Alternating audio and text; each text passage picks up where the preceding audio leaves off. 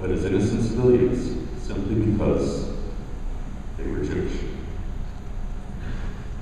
One and a half million of them were children. Five million other people were killed, total of 11 million in the concentration camps, the death camps, and ghettos